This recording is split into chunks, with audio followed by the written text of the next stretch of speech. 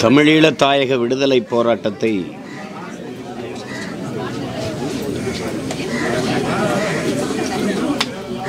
தன் ஒப்பற்ற உயிர் தியாகத்தின் மூலம்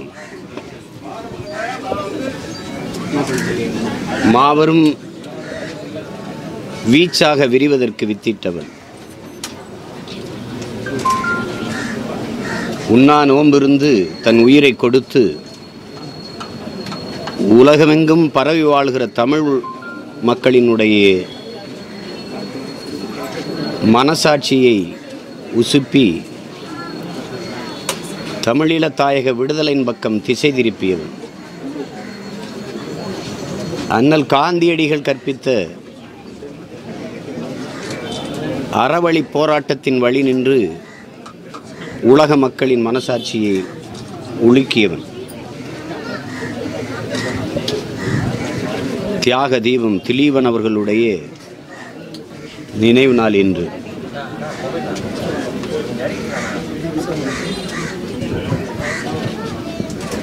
ஆயுதமேந்திய புரட்சிக்கு நடுவே அமைதி புறாவாக அனைத்துலகத்தின் கவனத்தை ஈர்த்து தமிழீழ தேசிய விடுதலையை சர்வதேச அரசியலாக மாற்றிய இந்த மகத்தான புரட்சியாளனுடைய நினைவை போற்றுகிற இவ்வேளையில் எந்த உயர்ந்த லட்சிய நோக்கத்திற்காக தன்னுடைய இன்னுயிரை ஈந்தாரோ தமிழ் தேசிய இனத்திற்கென்று ஒரு தேச விடுதலை என்கிற புனித கனவை சுமந்து இந்த மாபெரும் ஈகத்தை செய்தாரோ அந்த லட்சிய நோக்கம் வீண்போக அவர் வழி வழியே வருகிற வீரத்தமிழ் மானத்தமிழ் பிள்ளைகள் விடமாட்டோம் என்கிற உறுதியை இந்நாளில் ஏற்கிறோம். இலக்கு ஒன்றுதான் இனத்தின் விடுதலை. இனம் ஒன்றாவோம் இலக்கை வென்றாவோம் என்கிற லட்சிய முழக்கத்தை ஒவ்வொரு தமிழ் பிள்ளையும் இந்நாளில் முழங்கி இந்த மாவீரனின் மகத்தான பாதையில் நின்று அடிமை தேசிய இனம் அன்னை தமிழினத்திற்கென்று பறந்து விரிந்து கிடக்கிற இந்த பூமி பந்தில் ஒரு தாயகத்தை கட்டி எழுப்புவோம் என்கிற உறுதியை ஏற்கிறோம். சமீபகாலமாக அதிமுக அமைச்சர்கள்லாம் அவங்க விமர்சனம் பண்ணனா இப்போ ரெண்டு நாளைக்கு முன்னாடி கூட ஆனால் இப்போ கருணாஸ் வந்து ஒரு மூணு நாளைக்கு முன்னாடி கைது பண்ணியிருக்காங்க விமர்சனம் பண்ணாங்க. இப்போ ஒரு கைது ஒரு பக்கம் இருக்குது ஒரு பக்கம் அவங்க இது போல பேசிட்டு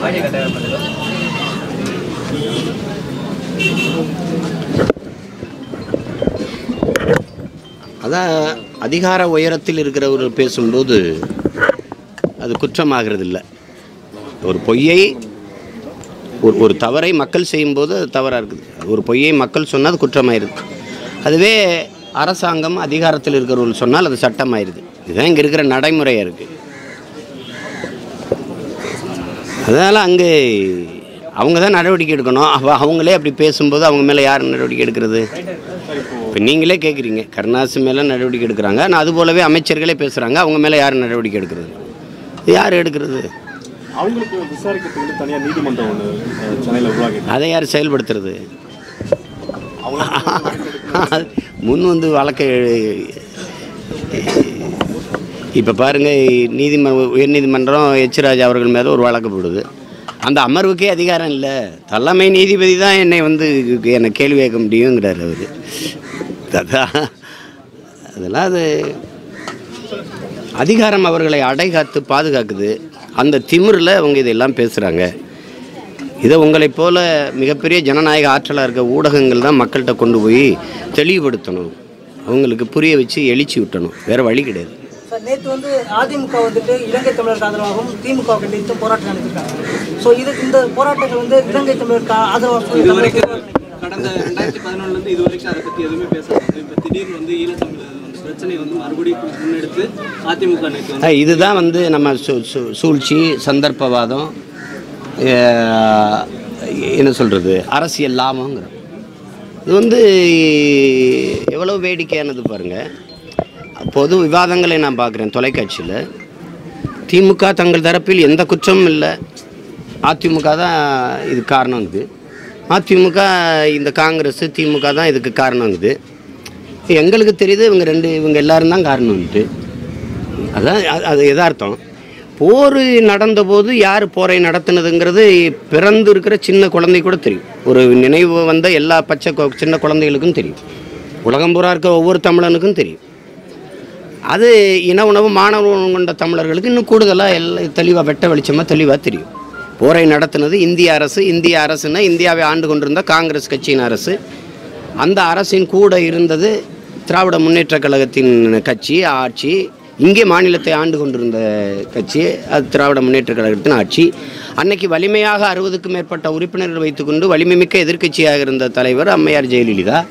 அவருக்கும் தெரியும். அவர் நினச்சிருந்தா இதை போராடி இந்த போரா இன்னும் மேலும் அழுத்தம் கொடுத்துருக்கலாம். எங்களை போன்ற ச- தனித்தனி பிள்ளைகள் போராடி ஒரு பெரிய எழுச்சியை கொண்டு வந்தோம். எங்கள் குரல் வழியும் நெரிக்கப்பட்டது சிறைப்படுத்தப்பட்டோம்.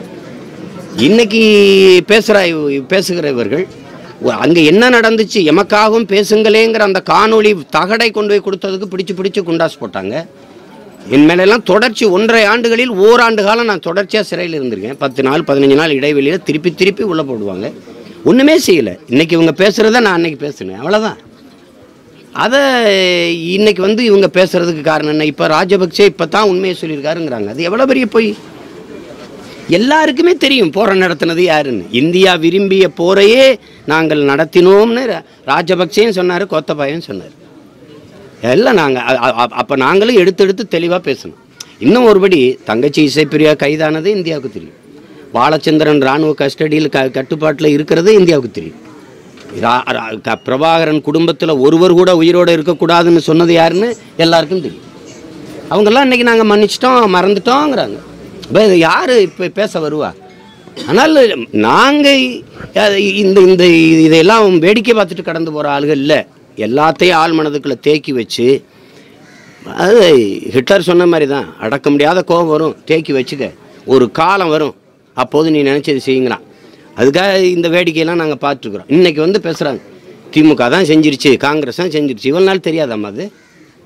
இவ்வளோ நாள் தெரியாதா? எண்பதனாயிரம் கோடியே வட்டி இல்லாத கடனாக எங்களுக்கு இந்தியா கொடுத்து உதவிச்சுன்னு அந்த நாட்டின் அமைச்சர் பாராளுமன்றத்தில் பேசினார். போர் நடத்துவதற்கு. நாங்கள் போரின் ஒவ்வொரு நகர்வையும் இந்திய தலைவரிடம் சொல்லிக்கொண்டே இருந்தோம்னு அந்த நாட்டின் ராணுவ அமைச்சர் அந்த கோத்தபய ராஜபக்சே சொல்கிறாரு பிரணாப் முகர்ஜி போய் என்ன சொல்லிட்டு வந்தார்? சீக்கிரம் போரை நடத்தி முடிங்கன்னு தான் சொன்னார். இதெல்லாம் வந்து இதுதான் சந்தர்ப்பவாதம் அரசியல் லாபம் சூழ்ச்சி. இப்போ இப்போ பேச வேண்டிய தேவை என்ன இருக்குது? சார் நேற்று அற்புதம்மாள் வந்து ஆளுநரை சந்திச்சு அஹ், பேரறிவாளன் விடுதலை பண்ணணும்னு சொல்லியிருக்காங்க. இந்த நிலையில இன்றைக்கு வந்து ராஜீவ்காந்தி கொலை நடந்த போது இறந்த அந்த குடும்பத்தினர் குடும்பத்தினரும் இன்னைக்கு போய் சந்திக்கிறாங்க. இந்த ஏழு பேரையும் விடுதலை பண்ணக்கூடாது அப்படின்னு சொல்லி. அதுதான் அது அது வந்து எப்படி சொல்கிறது அது தேவையற்ற நகர்வு. ஒவ்வொரு சட்ட போராட்டத்திலும் ஒவ்வொரு கொலைக்கும் பின்னாடி இதான் நடந்துக்கிட்டு இருக்கா? இப்படித்தான் ஒவ்வொருத்தரும் போய் அவங்கள கருத்து கேட்டு செய்தா சட்டம் செய்தா? அப்படி செய்தா சொல்லுங்க. அப்படிதான் எல்லா வழக்குகளுக்கும் தீர்ப்பு வழங்கப்படுதா? எப்படி புரியல இப்படி? இது இது வந்து அவசியமற்ற பின்னாடி இருந்து இந்த விடுதலையை வந்து வரக்கூடாது. அப்படிங்கிறதுக்காக சிலர் செய்து கொண்டிருக்கிறாங்க. திரும்ப திரும்ப அவங்கள பற்றி பேசிக்கொண்டே இருக்கிறாங்க. இப்போ இப்படி ஒரு கேள்வியை கேட்போம். காங்கிரஸ் கட்சிக்காரர்கள்லாம் பேசுகிறாங்க சரி காவல்துறை அதிகாரிகள் அவர்கள் இறந்தாங்க அவங்க குடும்பம் போகுது. அவங்க கட்சியினுடைய தலைவர் தான் அமரர் ஐயா ராஜீவ் காந்தி. அவர் மாலை போட போனது அந்த கட்சியினுடைய முன்னாள் தலைவர் நாட்டினுடைய மிகப்பெரிய தலைவியாக இருந்த பிரதமராக இருந்த அம்மையார் இந்திரா காந்தி சிலைக்கு. தன் தாயாரின் சிலைக்கு தான் மாலை போட போகிறாரு அப்போ காங்கிரஸ் கட்சியின் தலைவர்கள் யாருமே அவர் கூட நடந்து போகாமல் அவர் கூட வராமல் எங்கே போனாங்க? அவரை ஏன் தனியாக விட்டாங்க? ஏற்கனவே எல்லாருக்கும் தெரியும். ராஜீவ் கொல்லப்பட போகிறாருன்னு எல்லா தலைவர்களுக்கும் தெரியும். ஒரு காங்கிரஸ் கட்சிக்கார தொண்டம் கூட சாகலையே. எங்கே போனீங்க? எங்கே போனீங்க உங்கள் தலைவரை தனியாக விட்டுட்டு? யார் பதில் சொல்கிறது அம்மையார் ஜெயலலிதா கூட்டணி கட்சி தலைவர் அவர். கூட்டணி வச்சுருந்தீங்க. மிகப்பெரிய தலைவர் முன்னாள் பிரதமர் இந்த மாநிலத்துக்கு தேர்தல் பரப்புரைக்கு வாக்கு சேகரிக்கும் போது உங்கள் கட்சிக்கும் சேர்த்து தான் வாக்கு சேகரிக்க வர்றாரு. ஏன் நீங்கள் அவரோட மேடையில் போய் ஒன்றா நிற்கலை அதெல்லாம் மரபு தானே? கூட்டணி கட்சியின் இந்திய நாட்டின் மிகப்பெரிய தலைவர் வரும்போது மாநில தலைவர்கள்லாம் போய் ஒன்றா நிற்கிறது எல்லா மாநிலங்களிலும் நடக்குது இங்கேயும் நடக்குதுன்னு நடந்தது தானே? ஏன் போகல? எல்லாருக்குமே தெரியும். ராஜீவ் காந்தி கொல்லப்பட போறாரு அப்படின்ட்டு. குற்றவாளிகள்லாம் இன்னைக்கு அதிகாரத்திலையும் இதுலேயும் பதவிகளையும் இருந்துக்கிட்டு அப்பாவிகள் இவங்களை வந்து குற்றமற்றவர்களை வந்து பிடிச்சிக்கிட்டு இவங்க விடுதலை செய்யக்கூடாது. இதில் தான் நாட்டின் பெருமை இருக்குது. இதில் தான் முன்மாதிரி இருக்குது. என்ன முன்மாதிரி இருக்குது இந்தியாவில் என்ன முன்மாதிரி வச்சுருக்கிறீங்க? இந்த நாட்டின் பெருமை என்பது காந்தி புத்தன் மகாவீரர் தான்.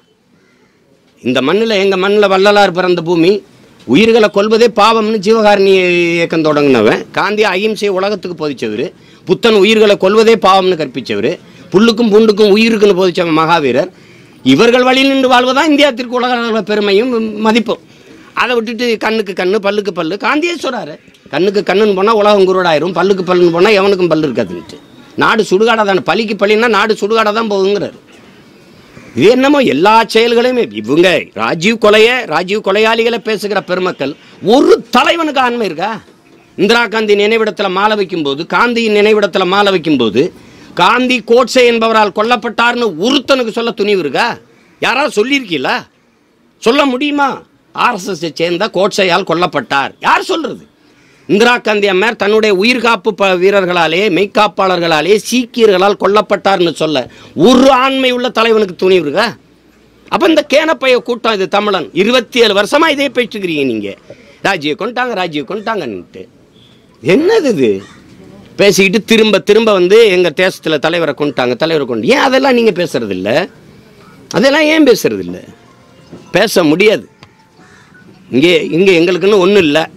இப்போ இப்போ என்கிட்ட அதிகாரத்தை கொடுங்க. என்ன பண்ணுவீங்க காலையில் கதவை திறந்து ஏழு பேரையும் விடுதலை செய்வேன். நீங்கள் என்ன பண்ணுவீங்க? அப்புறம் போடு என் மேலே வழக்க போடு. அப்புறம் போ சட்ட போராட்டத்தை அப்புறம் பார்த்துக்கலாம் போன்ட்டுருவேன் அது சொல்கிறதுக்கு ஒரு ஆள் என்னன்னா நீங்கள் பூச்சாண்டி ஆட்டிட்டு திரியிறீங்க. அதுதானே அது அது எல்லாம் அது திட்டமிட்டு நடத்தப்படுது. பார்ப்போம் எவ்வளோ காலத்துக்கு இதை பேசுவாங்கன்னு பார்ப்போம். சமூக வலைத்தளங்களில் உங்கள் மீது வைக்கப்படுற விமர்சனங்களை கேலிகளை எப்படி இது ஒரு கேள்வியா? நீங்களே சொல்கிறீங்க அது விமர்சனம் கேள்வி கேள்வி கேலிங்கிறீங்க. அதை பொருள்படுத்திக்கிட்டு ஒரு போராளி நிற்க முடியாது. அது நீங்கள் துப்பாக்கி குண்டுக்கு நெஞ்ச காட்டிக்கிட்டு நிற்கிற போராளி மேலே விழுகிற கல்லை பற்றி கவலைப்பட்டுக்கிட்டு இருக்க முடியாது. அது ஒரு வேடிக்கை. அது அவர்களுக்கு பொழுதுபோக்கு. அவர்களுக்கு அவன் சேர்த்து போராடுறது என்னுடைய வேலை. அதனால் அதை பெருசு பண்ணக்கூடாது.